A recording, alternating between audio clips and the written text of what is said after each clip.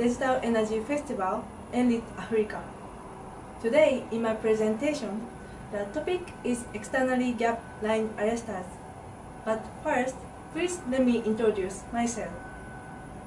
My name is Ami Oshima, and I'm an engineer for surge arresters. This is content of my today's presentation. First, I'd like to talk about our surge arresters. Then, I'd like to focus on externally gap line arresters, and we can call it EGLA or EGLA. We will consider the lightning protection briefly. Then, I will talk about some experience of EGLA in Japan. Finally, I will show our lineup of our EGLA. This slide shows the lineup of our surge arresters. This is GIS type surge arresters for substations. This is porcelain type surge arresters and polymer type surge arresters for substation. This is transmission line arresters. It has a series gap, so it is called externally gap line arresters. We also manufacture the surge arresters for railway systems and distribution systems. We are also manufacturing the metal oxide blocks in our factory, Japan. We have a lot of experience of such arresters.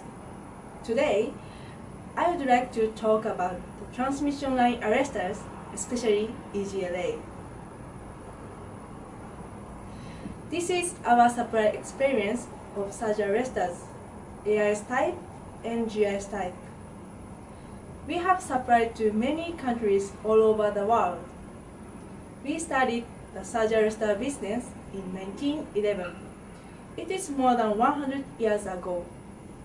And in 1978, we started to supply the gapless type surge arresters, and it has been going on for over 40 years. Now, I will move on to the next section, and I'd like to talk about externally gap line arresters, EGLA. This is an EGLA for 77 kV systems and for 66 kV and 154 kV. They are for domestic uses. And for overseas, this is for 170 kV and this is for 220 kV. EGLA is relatively new technology. First edition of IEC standards 60099-8 was published in 2011. It is about only 10 years ago. This slide shows the lightning flash in the world. Here is Africa, and here is Japan. You can see that there are a lot of lightning in Japan, but much more in Africa. It can be, uh, it can be said that power transmission systems have been always put in danger caused by lightning. This slide shows the causes of service faults on power transmission lines. The data is referred from the lightning measurement in Japan. From this data, it can be understood that more than 40% of power outage is caused by lightning. So, effective countermeasure against the lightning is highly required. This slide shows countermeasures against lightning stroke. Firstly, footing resistance of towers should be reduced. Next, grounding wires should be equipped and duplicated grounding wires are desirable. Third one, the differential insulation systems are also effective. It means that one circuitable double circuit lines must be protected. This graph shows how double circuit fault can be prevented by each countermeasure respectively. And lightning protection by these methods is not 100%. However, When applying transmission line arresters, lightning flash over rate becomes 0%. From this data, we can say that transmission line arrestor has the best, best effectiveness. Next, I'd like to talk about the effectiveness of EGLA. We can compare the trip rate before and after installation of EGLA. This is the configuration of arrestor installation. There is no arrestor and the arresters are installed on every phase of one circuit of double circuit lines. Before installation, there occurred the double circuit faults on both lines. But after installation of EGLA, no faults occurred on the arrestor installed line and double circuit fault did not occur. That is the effectiveness of EGLA. Next, I'd like to explain EGLA. This is the basic configuration of EGLA. This is the insulator strings and here are arrestor units and non-linear non zinc oxide blocks are in this arrestor unit. Here is the series gap and this is the feature of EGLA. This series gap is designed to operate against lightning over voltage and designed to withstand switching over voltage and TOV. This series gap is designed to operate against lightning over voltage, so flashover at insulators can be avoided. And this series gap is designed to withstand switching over voltage and TOV. Power supply can be kept if the arrestor unit fails. This is the cross-section of arrestor unit and metal oxide blocks in it. These metal oxide blocks are directly molded with silicone rubber the metal oxide blocks have the two times higher reference voltage compared to usual ones. Then, lightweight and compact design of arrestor units can be achieved. Next, I'd like to explain the principle of operation of EGLA.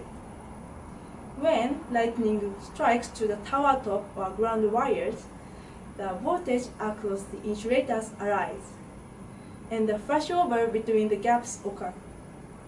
And then the voltage is suppressed by the arrestor unit and forward current will be interrupted immediately.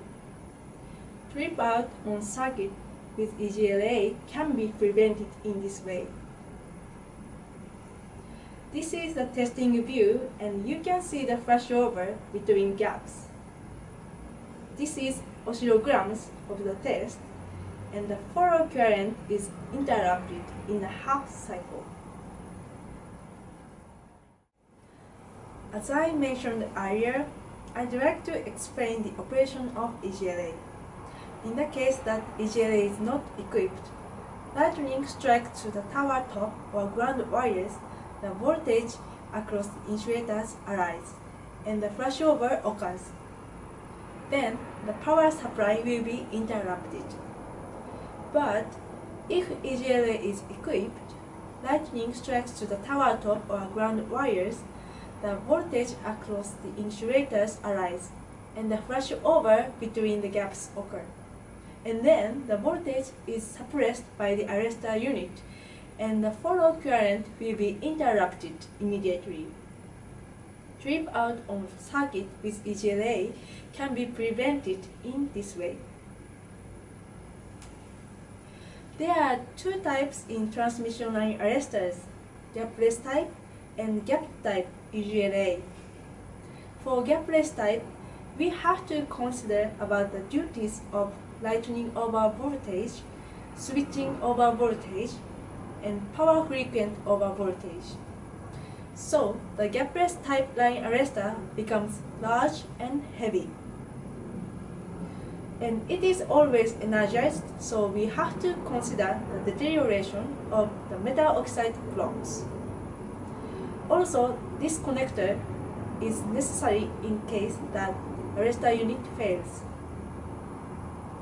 But in the case of EGLA, we only have to consider the duty of lightning over voltage. So, the compact and lightweight design is achieved. Due to the series gap, arrestor unit is not energized during the operation. So, we do not need to consider the deterioration of the metal oxide blocks. And even when the arrestor unit fails, power supply can be kept. It's because the gaps can work as usual arc horns. So, we strongly recommend externally gap line arrestor EGLA. Next, I'd like to talk about the disadvantages of gapless line arresters. Gapless line arresters have some disadvantages. The swing of the arrestor due to the wind will cause the damage of the conductor. The disconnector itself will get aging. Liquid wire will get worn out by vibration due to the wind. Gapless line arresters have some risks of failure due to the structures. This is our supply experience of EGLA.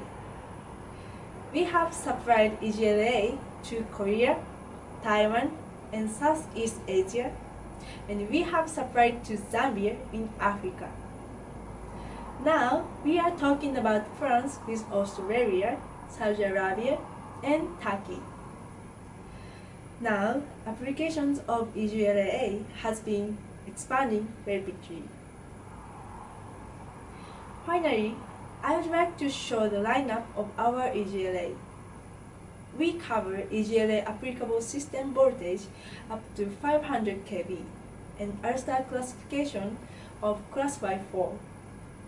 The short circuit performance of our EGLA is very high, and it is more than 63 kA. I'd like to conclude by making following points. Number one, EGLA is relatively new technology. Applications of EGLA has been expanding rapidly. Number two, there are two types of transmission line arresters EGLA is highly recommended, much better than gap, gapless type. Number three, we have the supply experience of EGLA up to 500 kV systems.